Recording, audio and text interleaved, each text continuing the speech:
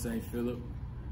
My prayer is that everybody's doing well and that everybody in their family is taken care and walking in ultimately God's favor. These are our altar prayers for the week of January 23rd. Those people are Frida Minga in the transition of her aunt Dr. Jamie Coleman Williams, Reverend Dr. Roy Jones and Angela Jones in the transition of their uncle, Agnes Kamara in the transition of her sister, Ty Smith and family in the transition of his brother, Helen Hinton, Reverend Mary Hazlett, Christina Hazlett, Richard Jenkins, Beatrice Burrell, Joseph and Freddie Phipps, the Hazard family, Dorothy Hunt, Gantry Habersham, Aura Hambrick, Mr. Theodore Gordon, Yurleen Gordon Jr., Victoria Hall, Leotha Cunningham, Jonathan Jones, Ollie James, Sarah Washington, Michael Spencer, Teresa Blackshear, Mary Copeland, Janelle Thompson, Paul Bacon, John Lewis, Mayo Jordan, Neil Lewis, Officer Jared Hunt, Dolores Curitan, Robert III, Karen and Kenia Curitan, Robert Jones, Doug Morris, Edna Rose, Miss Betty Benson, Miss Natty Lewis Moore, Miss Betty Griffin, Miss Estelle Warren, Kathy Seeley, Georgia Huff, Bobby Frost, Candace Cisco, Sharon Somerville, Brian Daly, Larry McKinney, Lily Adams, Raekwon Roseboro, Rashad Neal, Pastor and Miss Wadley and family, Bishop Reginald Jackson and family, Presiding Elder Thomas DeGaulle and family, the Biden, Biden and Harris administration, COVID-19, Delta variant, and Omicron variant, everyone affected by those, criminal justice reform, Voting Rights Act, educational system and educators at all levels, historically black colleges and universities. These are the people and the items on our prayer list today. May we pray? Heavenly Father, thank you first and foremost, God, for for knowing, for being with us, God, and letting us know that all things that we bring to you, God, will be heard. God, you said in your word that if we lean on you, then you won't leave us. You told us in your word that you are a faithful God, and we believe it right now, God. We ask you to go by and touch each name, each family that we read on this list, oh God.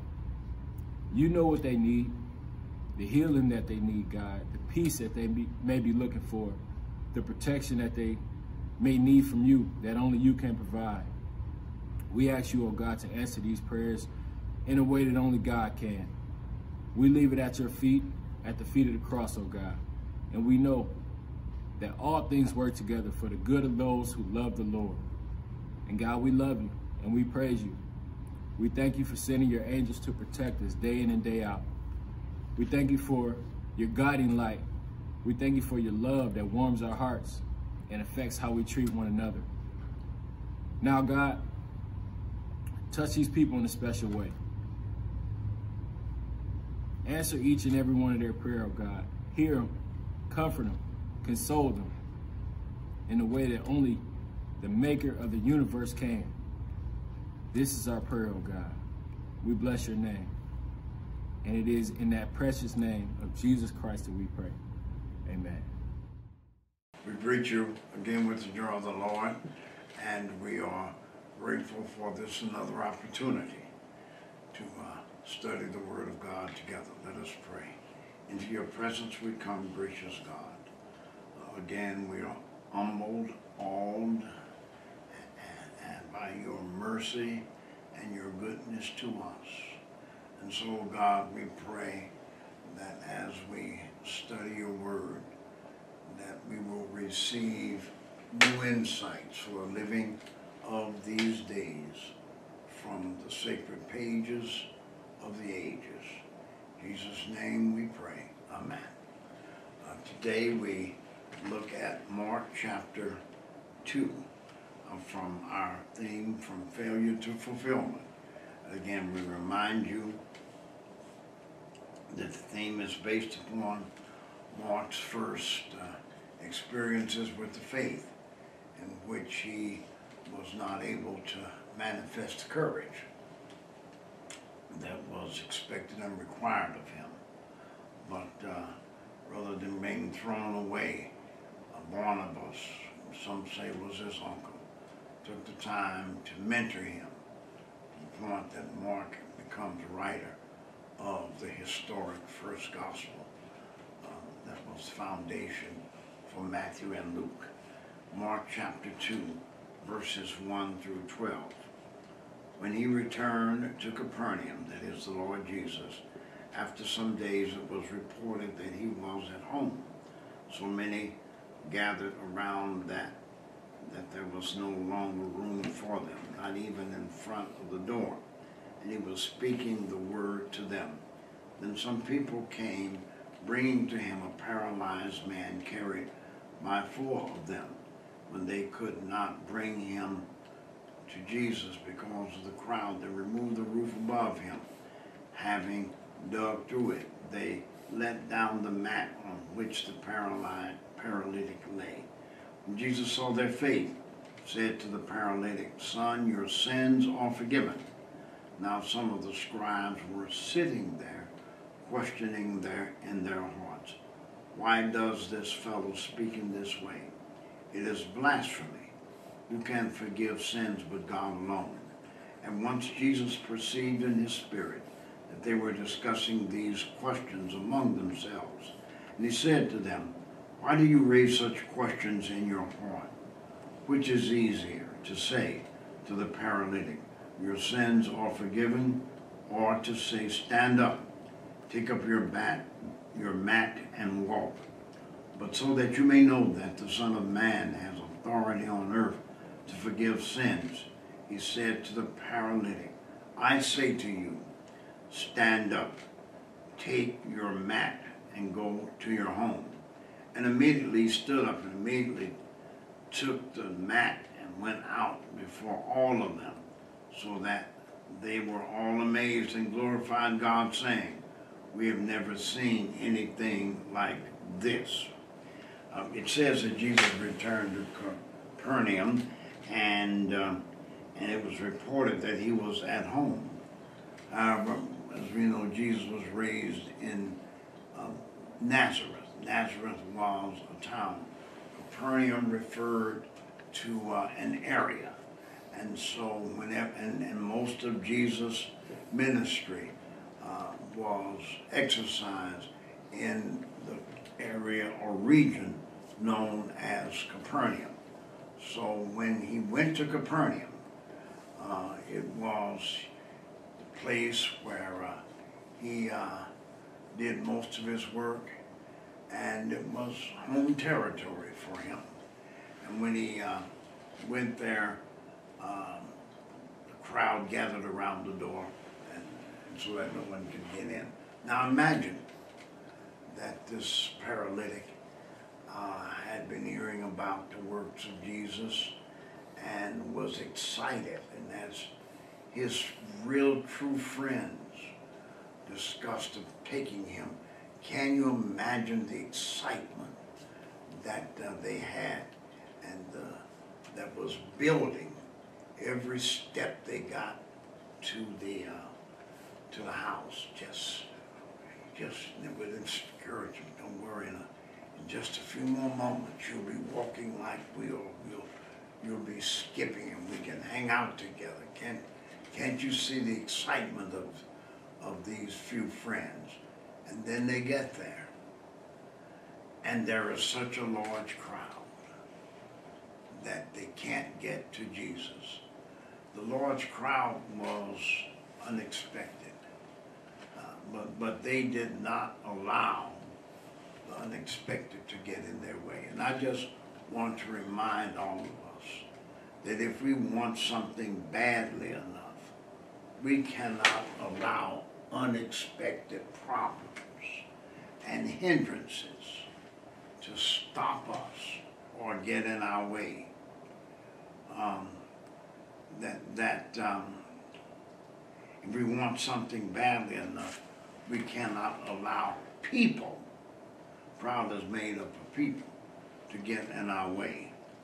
Uh, and, and, and, and you will always run across a different group of people uh, who will get in your way as you try to pursue the vision that, and your goal God has for your life and your own personal goals and dreams. The first, there are those who intentionally, for whatever the reason, will try to stop us. And then there will be those who have no malice or intent, but they still get in our way. That uh, they uh, do not offer encouraging language or sometimes they will stop us out of concern or hold us back. There is no malice, or perhaps they just don't do all they could. But these persons, even though they do not have malice, can also get in our way. And, and when I've ever I've read this passage, what struck me was that uh, no, no one offered to step aside and move out of the way for the paralyzed man. I mean, that those on the edge of the crowd, they had to see him. Or why couldn't they say, excuse, you know, make room, make room, and as they made room, others perhaps would have made room. But, uh, and it reminds us that we must be careful not to become so engrossed in our own agenda that we become immune to the needs of others who are more desperate than we are. Because as desperate as we are, there are those whose situation is even a greater. And, and I would also like to remind you that uh, no worthwhile goal is ever reached without having to overcome the unexpected. And, and, and, and that the unexpected is often a sign of the greatness of the goal. Because great goals, great dreams are not reached without unexpected issues. And so if you, uh, if you are having challenges reaching your goal and the vision and the dream, that shows you that you are after something significant. Because easy goals are reached without problems, but great things. And so the, the difficulty, the amount of difficulty that you are going through is evidence that you're trying for something great. And, and, and and so the unexpected is often a test of how much we really want to reach something. Because uh, if you just give up, you, you don't want it very badly. But, but if, if, if you really want something, then the unexpected is uh, a test to you of how much you really are after this. And, and, and so the unexpected then is also a measure of our faith. That, that if we really believe, we really uh, will press our way. And, and, and that uh, if, if you immediately say, or, or, soon say, no, I don't think we can do this, uh, that, that, that shows your lack of faith. But if you continue to say, God showed this to me, I believe that God has given me gifts. And, I believe the word of God and I trust God. even in the face of this great crowd. I, I believe we can do this. That shows great faith. And, and, and the uh, unexpected is also a test of the loyalty and the support we have from our friends. Because the man was being carried by others. And even no matter how much he might have believed, they themselves had to believe and want uh, for them to try to come up with a way. And uh, um, none of us reaches great things, great dreams, no matter how gifted we are, no matter how much we believe by ourselves. And that's why it's critical that we associate with positive people. Because if you're always hanging out with people who are critical and who are quick to say uh, what can't be done and who are sowing doubts and who are not really believing, it's hard to overcome that and the unexpected. And so when the going gets tough, you will know who your friends and supporters really are. Many years ago, I think I might have told you about uh, a uh, developer in Philadelphia who had done a lot of development projects in the state of New Jersey. And, uh, but he was headquartered in Philadelphia and he had done some projects in Pennsylvania as well as New Jersey. And he ran into uh, some uh, challenges that caused his name to go out uh, to be printed in the papers and to be put on television and uh, social media. And um, I called him because I was familiar with the whole uh, range of attacks that can come to you when you belong to God and you're pursuing great things and the consensus of the world is that you've gotten out of your place and some folk.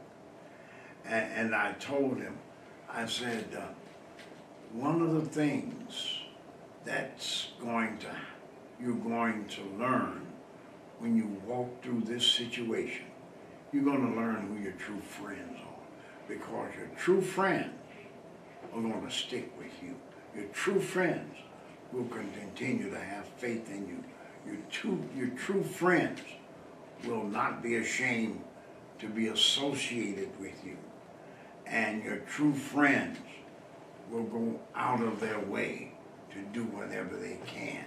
Your true friends will not be so engrossed in their own issues that they won't have time for you. So you're going to find out who your true friends are. And when you run across the unexpected, you will find out who your true friends are. And I and I and I've learned that uh, one of the reasons that the Lord allows the unexpected to come into our lives so that we can learn uh, who, who are, excuse me, who our true friends are, is that when we come out on the other side, we will know who to bless because we will know beyond a shadow of a doubt who stuck with us, who prayed for us, and who stood up with us when the crowd uh, disappeared. And so the unexpected is a measure of the loyalty and of our supporters, and it's also a measure of the faith of our supporters in us and in our uh, in our goals. The unexpected is also a measure of the risk tolerance and ingenuity of our supporters. There's this term called risk tolerance when it talks about investments. Some investments have more risk than others. And when you invest, you have to know your risk tolerance. How much are you willing to risk for this particular, uh, in this particular investment? Uh, there was a time when one of the leading stocks now, uh, uh, Tesla, was a risky investment. People wondered about these uh, electric cars, but now it is a major leading stock.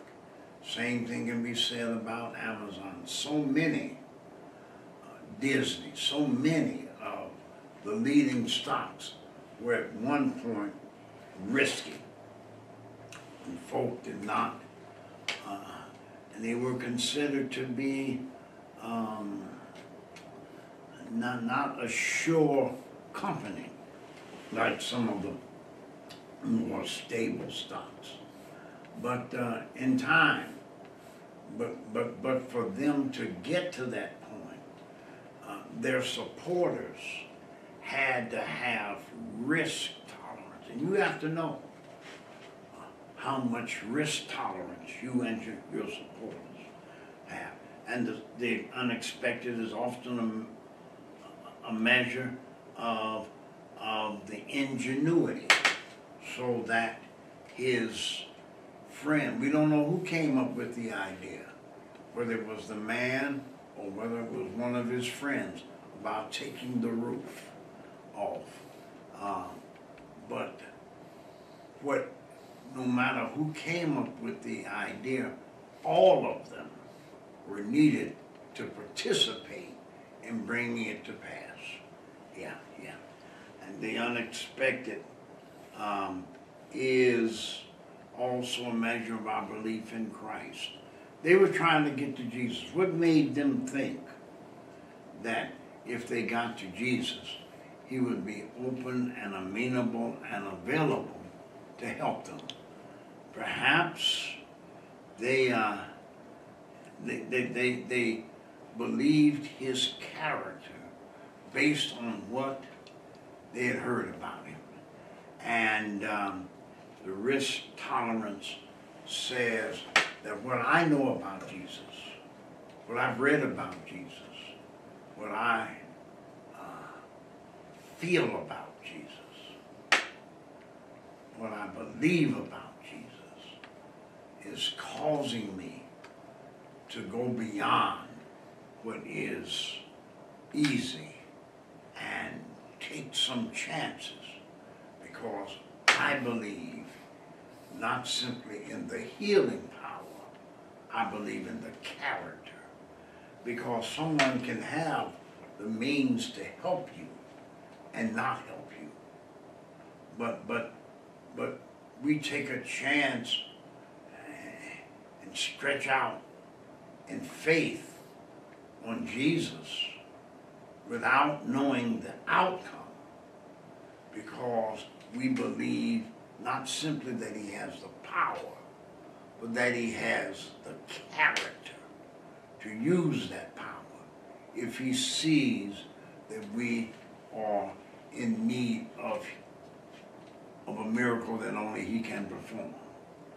And uh, so they, they did what they do, did in terms of taking the roof off because um, uh, they believed in his character as did the woman with the issue of blood, who said, uh, I believe in him so much that if I can touch the hem of the garment, the crowd's in the way, but, but if I can touch the hem of his garment, I believe I'll be made whole. That was why the ten lepers uh, called out to Jesus. They believed in his character enough that these rejected uh, people were considered anathema in their culture. They believed so much in the character of Jesus that they were willing to call out to him. Zacchaeus said that there is some, has to be something about this Jesus uh, to the point that he was willing to climb a sycamore tree. This, this Zacchaeus, who was a tax collector, that nobody uh, wanted to be around, uh, was, was willing to risk going out in the crowd and uh, climb a sycamore tree because he believed in the character of Jesus. And, and, and so did the woman in that passage found in Luke 7. Luke 7, verses 36 through 50.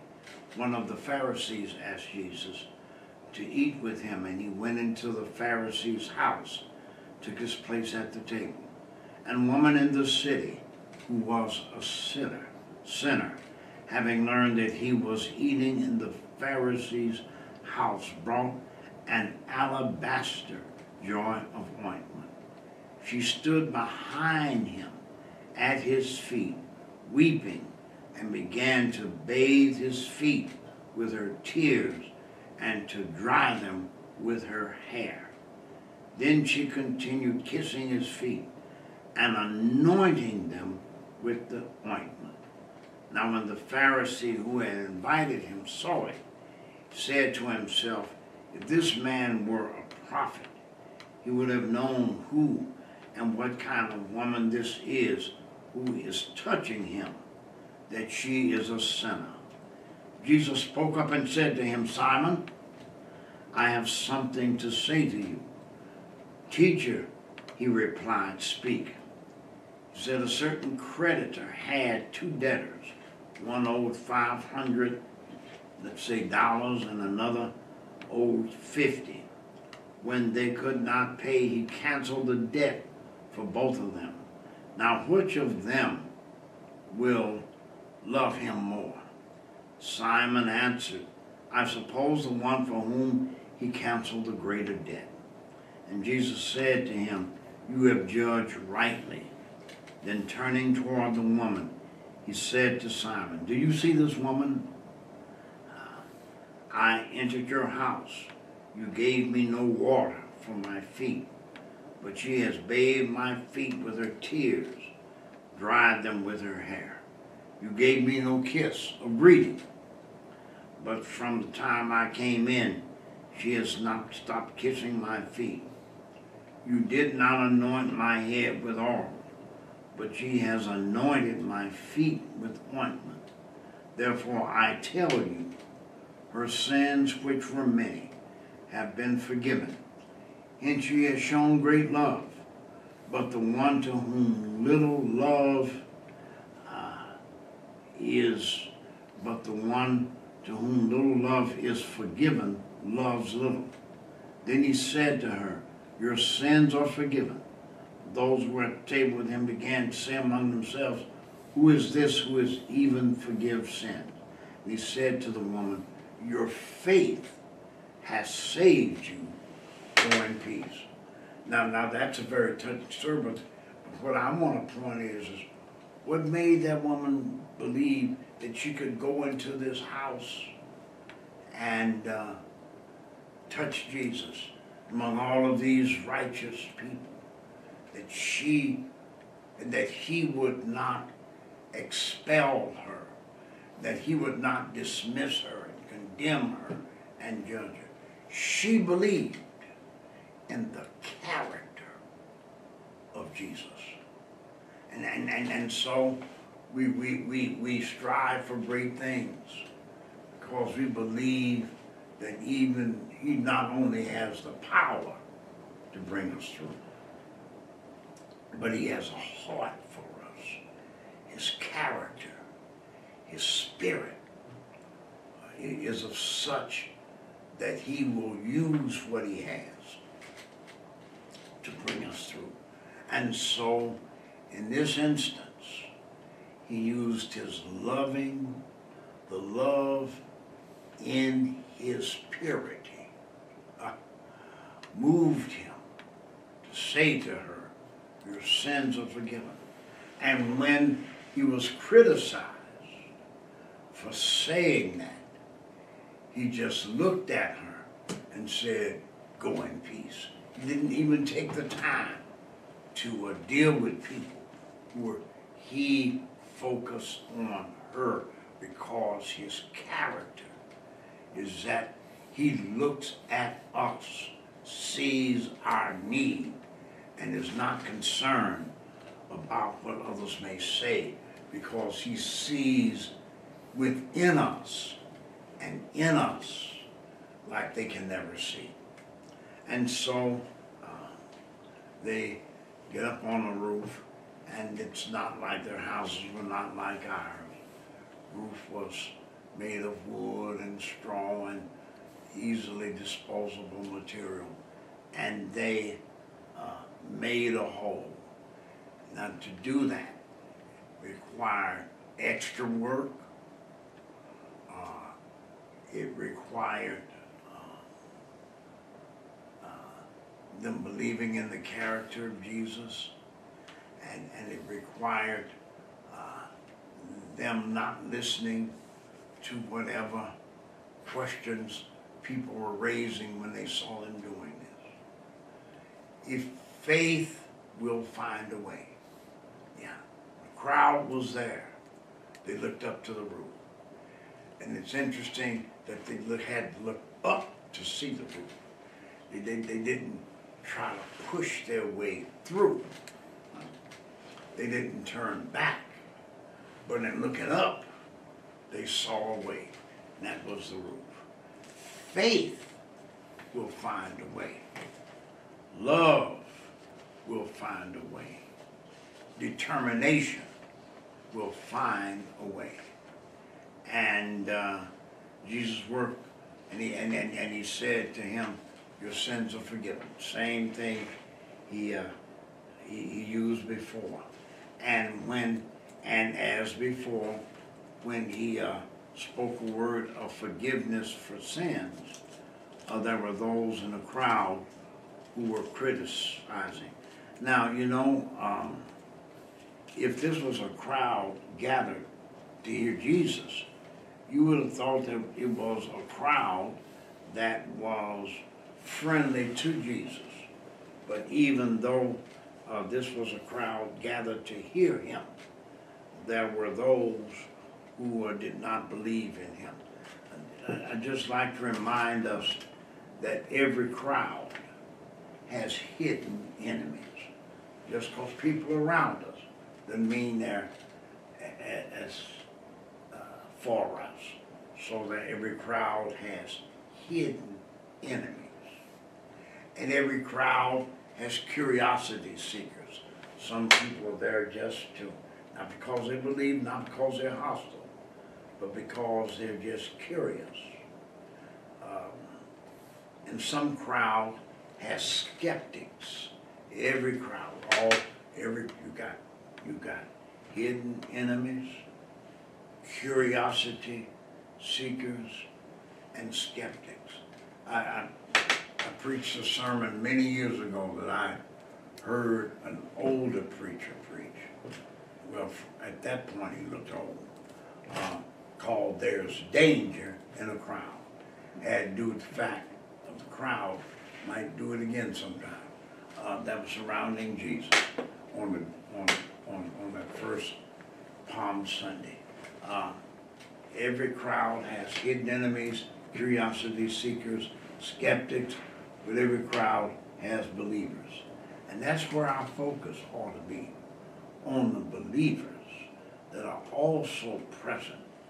Um, those who are quick to criticize, as the Pharisees were, uh, which was the largest group of organized believers, uh, are often insecure and afraid of losing power. Uh, because uh, if Jesus, who was the opposite of much of what they claimed to believe and represent achieved popularity and notoriety. It was a threat to their power. Uh, we must never underestimate the power of the power drug. Hear that, the power of the power drug. The people who are uh, high and drugged up and living for power, don't ever underestimate the hold of that power drug on them. And I would submit to you that the crisis in our country is due to the power of the power drug. Those who hold power are fearing to lose their power. That's a purpose behind the effort to restrict uh, voting rights because those who are in power, who are addicted to the power drug, are afraid of losing power. That's, that's the reason for much of the stronghold and delays in Congress. Those who have power are afraid of losing power. Uh, and so you have Republicans voting against uh, the Build Back Better initiative, even when it is, it will bring advantages to their own districts that they and states that they represent. That these states with uh, that have great infrastructure problems, these great states that have a number of poor people, white as well as black, they will vote against the measures that will uh, strengthen their own constituency, that they will provide daycare for their own constituency, and, and, and, and, and put money in the pocket of their own constituency because they do not want to give political power to a Democrat. And, and they so are so desperate to hold on to their power that they vote against the people who put them in office. Don't ever underestimate the power of a power girl. I never cease to be amazed how some Republican leaders can be publicly insulted and rejected by the demented and demonic 45th president.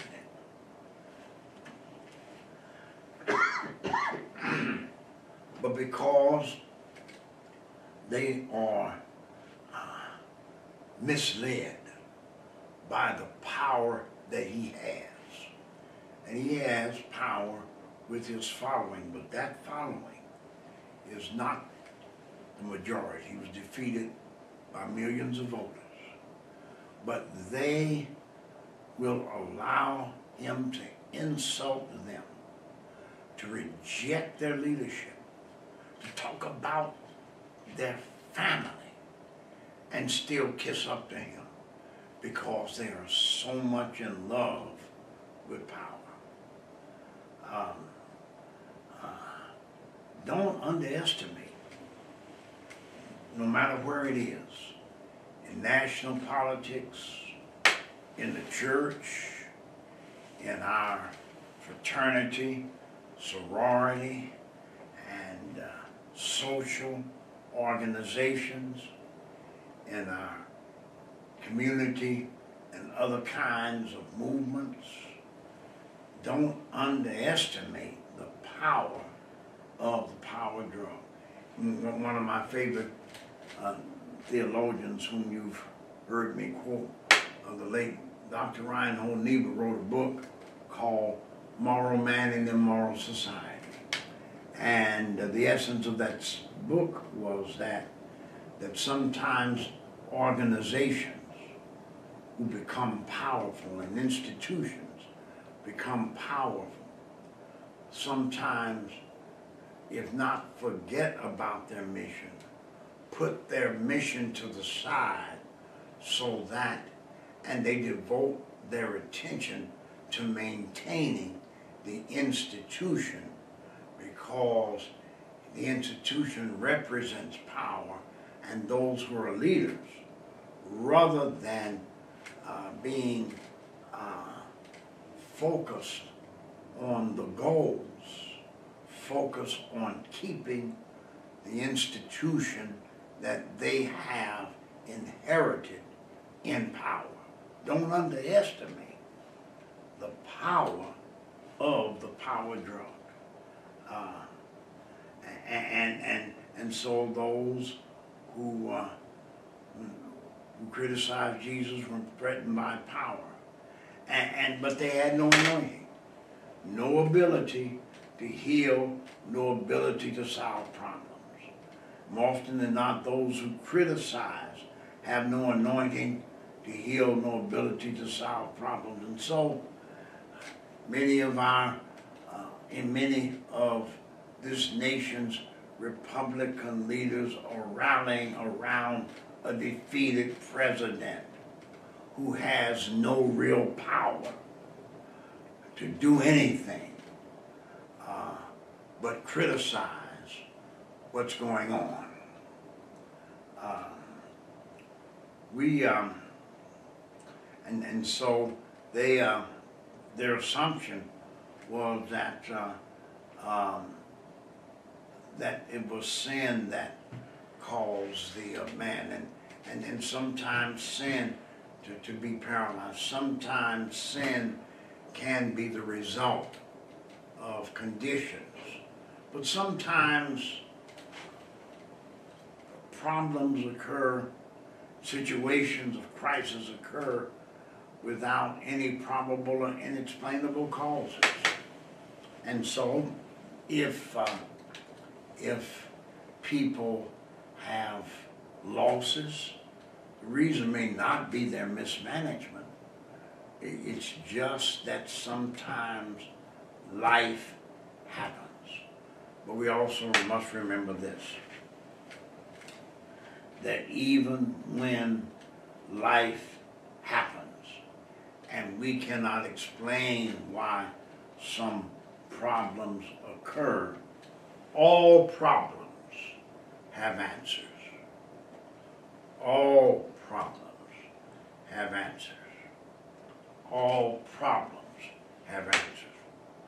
And, and, and our job is to keep focused on the Lord and asking Him to direct us toward the right answers.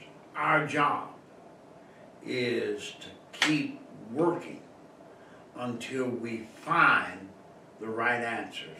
This pandemic has answers.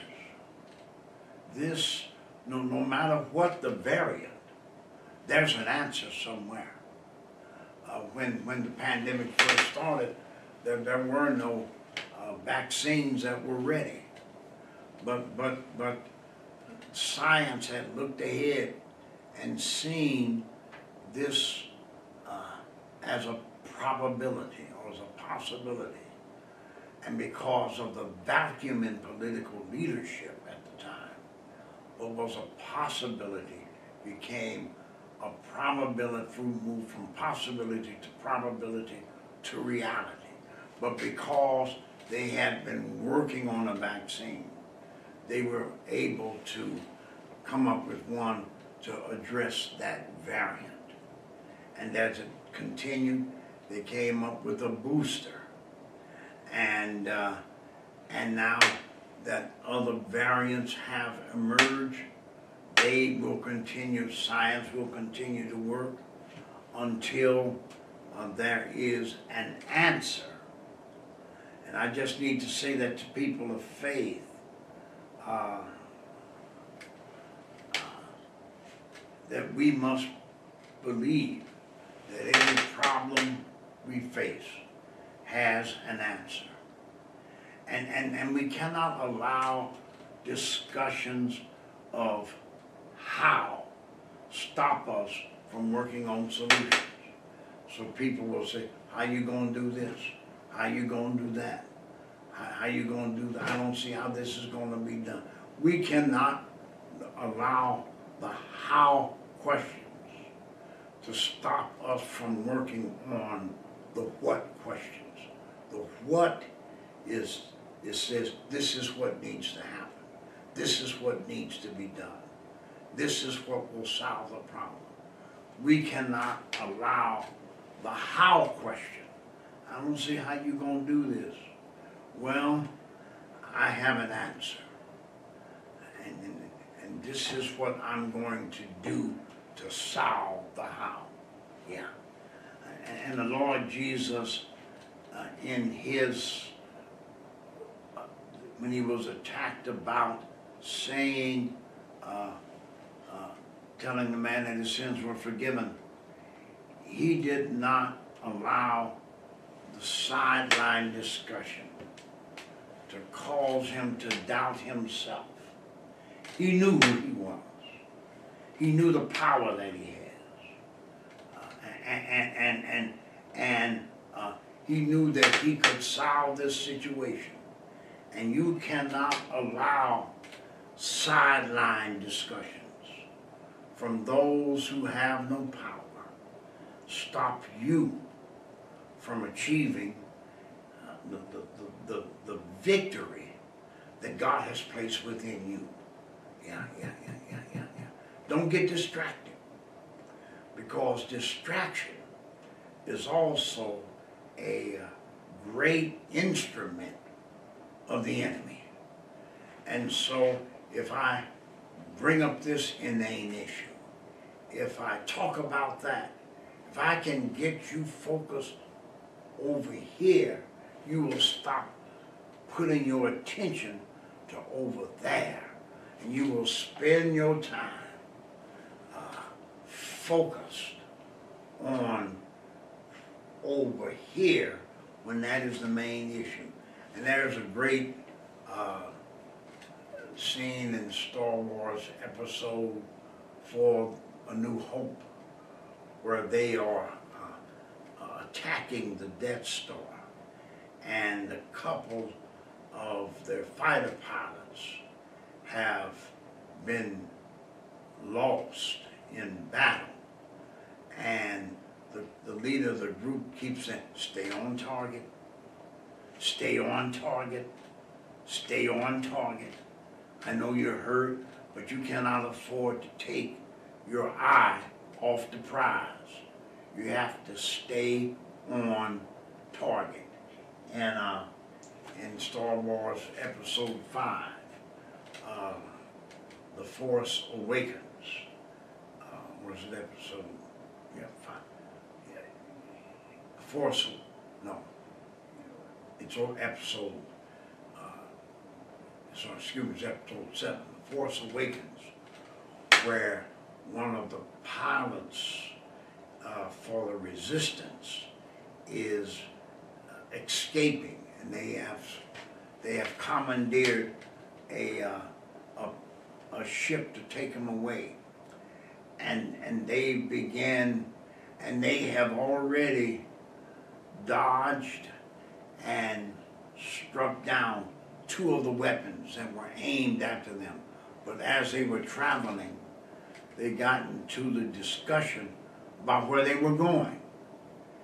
And as they, the minute they just started arguing about where they were going to land, they got hit because they took their attention away from the enemy and placed it on another issue.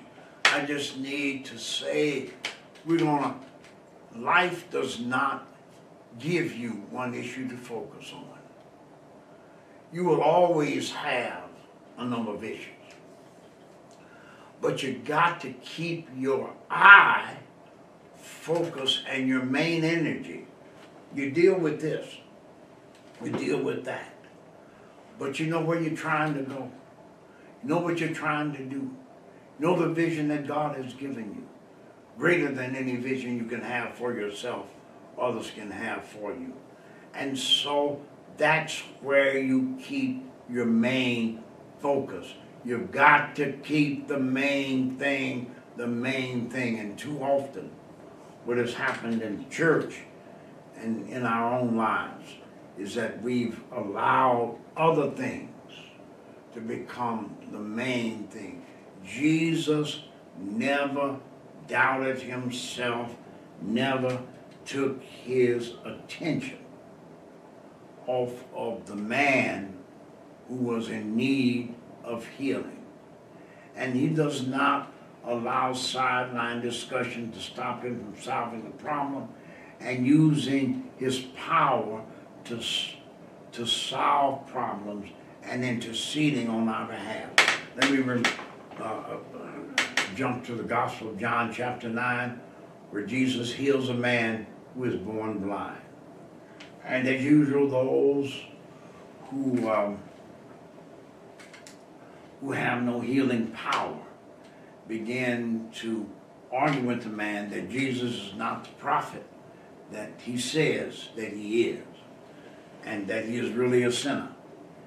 And um, they said, uh, well, he's not this. And, and, and, he makes that great statement that we've heard sinner or saint, sinner or not, I do not know. This much I know. Whereas I was blind, now I see. And they became so resentful of him that, that, that they put him out of the synagogue. And because Jesus told a man to wash in the pool of Siloam, he left him was blind. He never got a chance to see Jesus because after he was not there, after he had obeyed the Lord's uh, the Lord's word, so he never saw Jesus. And so when they put him out, he was there out by himself. And Jesus then came and introduced himself to him and helped him. Jesus never stops coming and interceding and equipping and empowering us when we reach those points in our lives where uh, we really need him. We not only need him to help solve the problem.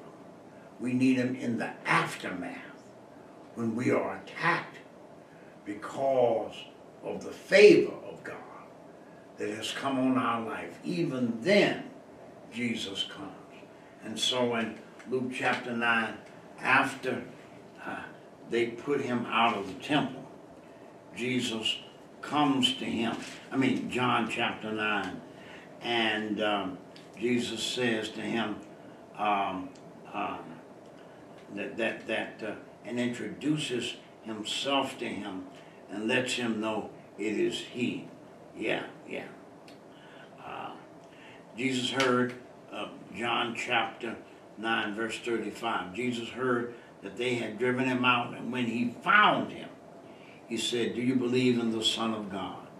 He answered, And who is he, sir? Tell me so that I may believe in him.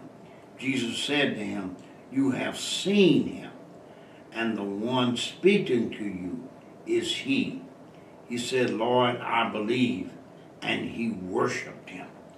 Jesus said, I came into this world for judgment, so that those who do not see may see, those who do see may become blind.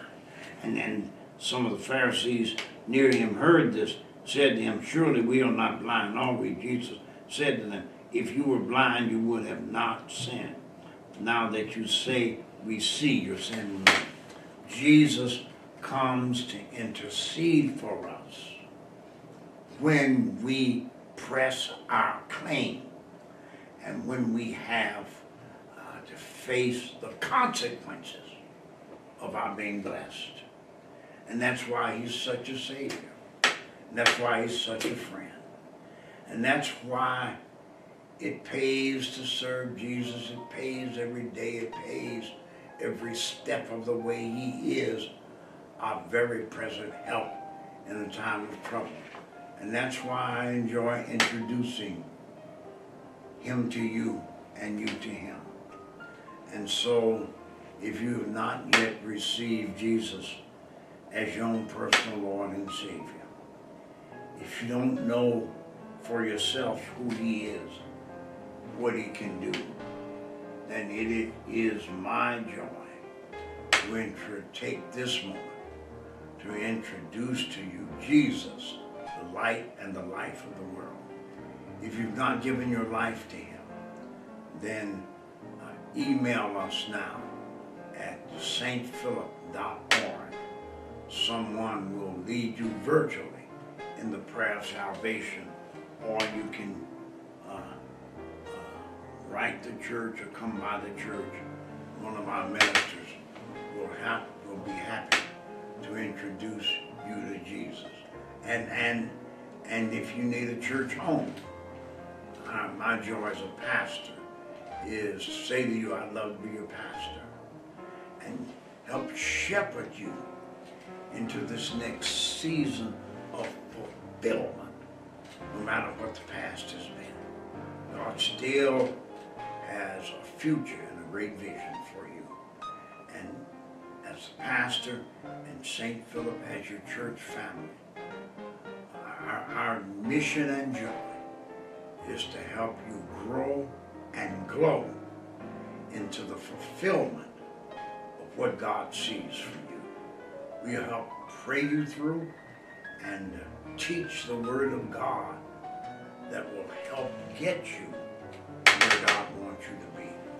And if for whatever reason you left and you have uh, moved to come return home, uh, we're not here to judge you, we're here to love you. Just email us.